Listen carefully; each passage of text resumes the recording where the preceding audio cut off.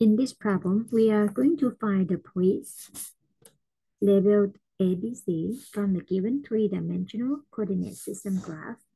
Talking about the three-dimensional coordinate system, the point gonna be in the form of x, comma y, comma z. The given point 1, 3, negative 1, that means it's one unit away from the origin in the x direction in the positive way. So that's the one. And then the second one is the y coordinate. That means it's away from the origin, three units in the y direction.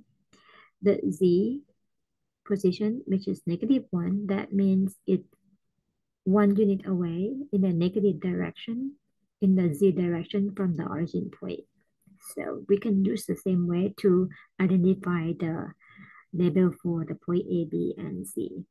Before we doing that, I'm gonna um, put the numbers on all um, the X, Y, and Z axis.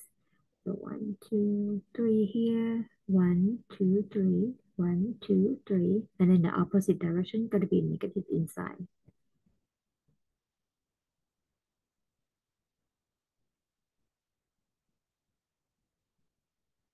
Now point A, B, and C.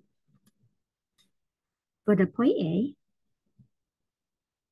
that is zero unit away from the origin in the x direction.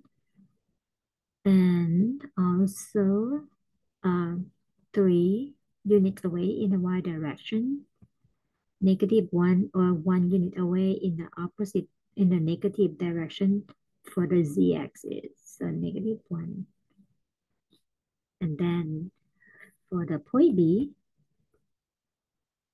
zero unit away in the x direction from the origin. For the y direction, also zero unit away in the y direction. For the z axis is one unit away, but in the opposite direction or in the negative way. So zero, zero, negative one for the point B. And then the point C is one unit away from the origin in the x direction, positive direction. In the y direction, let's say zero unit away from the origin in the y direction. Then for the z, is one unit away from the origin in the z direction, but opposite in the negative direction. So 1, 0, negative 1 as a label for the point C.